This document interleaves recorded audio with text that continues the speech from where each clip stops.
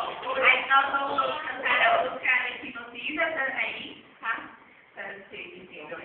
De onde ela é? Ela é de México. Ela era líder componente do grupo Rebelde. E agora ela está fazendo o Como que é o nome dela mesmo? É ah, tá. Ah, é a minha? Isso! É é agora tá